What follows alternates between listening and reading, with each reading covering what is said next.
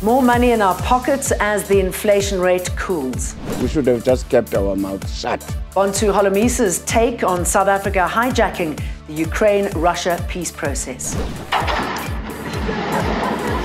Crippled by crime, no service delivery and fear, Diepsloot residents head to the union buildings. And you couldn't make it up. Rapist and murderer Thabo Bester's former attorney in court on charges of attempted rape and assault. Hello, I'm Jane Dutton. These are the top stories. This is Eyewitness News. So let's start with some good news. Inflation has cooled, slowing to 6.3% for May. That's a 13 month low and down from 6.8% in April. The Reserve Bank has been raising the repo rate to stop rising inflation, and this figure is now moving closer to its target range of between 3 and 6%.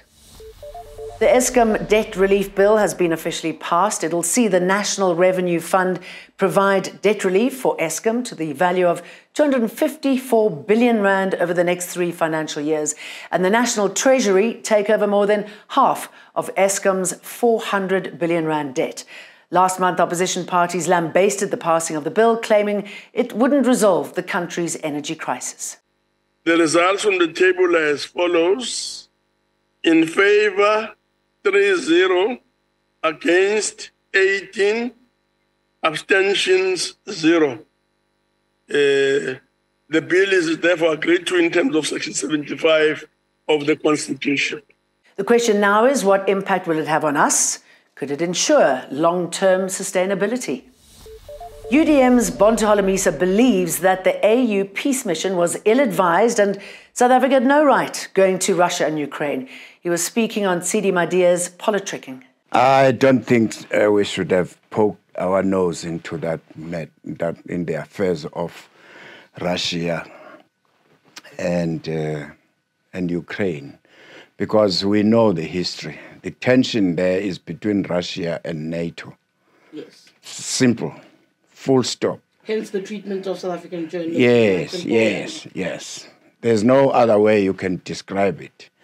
As long as NATO is not willing to come to the table and sit around with Russia, then there will be no con- there, no conflict will be resolved there. Also, hijacking that from the UN Security Council, because that matter should have been handled from day one by United uh, Nations Security Council. Then when they try now to blackmail South Africa and so on and so on, we should have just kept our mouth shut. To listen to the full interview, visit our social media pages.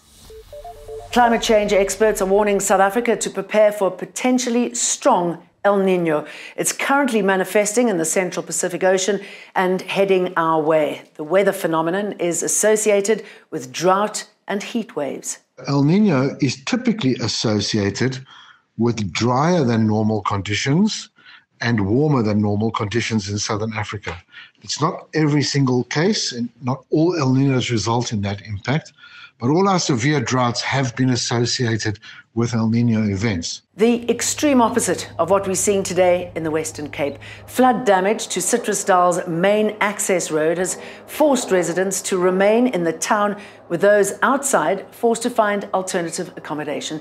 Residents and travellers have been telling Eyewitness News of how they've managed to survive in the flood stricken area, many of them staying at the Riverview Community Centre. And they helped me there for the night. And the next morning I want to go back to the N7. The policeman told me, uh, no, you can't take me because I, there's a lot of flood on the wall over the bridge. So you can't go through. So, and then the end of the day, he told me I must come here to the community center to stay here. And uh, yeah, and this morning I went back to the bridge to try to get over it. So the guy there stops me and says I can't pass that bridge because why, the water is too strong for to walk over. The floods have also badly affected the economy there. Citrusdal business owners have expressed their frustration at having no electricity for a third day in a row. Heavy rain and flooding cut off the power supply to the Cederberg municipality town on Monday. Marching on the union buildings to be seen and heard, a delegation of leaders representing Diepsloot residents. They're angry over poor service delivery and rampant crime. Yesterday, protesting residents blocked the N14 highway while some burnt the homes of suspected criminals. Gunshots, hijackings, and zero police visibility are just some of the many problems described by Diepsloot residents. Our outcry is just reaching the the closed ears. So that is why we are we see. But unfortunately, all the, the um, the gates are closed. So we are still persuading them to open for us so that we can have those engagements. After all the interventions, our people are still dying. Diepsloot is just one of the many communities in the city of Johannesburg that's been calling for a solution to issues relating to crime. Former National Health Department spokesperson Popo Maja has been charged with fraud related charges in connection with the Digital Vibe saga. He was accused of accepting a bribe of 15,000 Rand in 2019 to influence a tender of over 141 million Rand in favor of Digital Vibes. This is the latest prosecution linked to Digital Vibes following an SIU report into how millions of taxpayers' money was paid to the controversial company in tenders. The report also found that the money was squandered on repairs to former Health Minister Zweli Mkhize's home and his vehicle for his son, among many other things.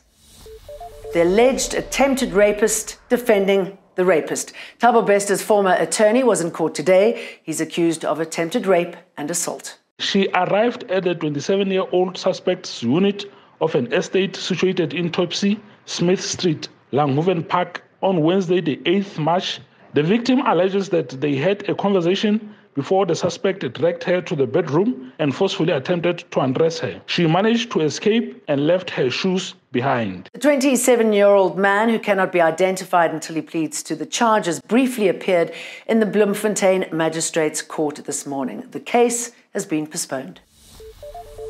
That wraps up the bulletin. See you for more tomorrow. Remember to like and subscribe. Eyewitness News, in touch, in tune, and independent. For the latest, log on to ewn.co.za or ewn.mobi.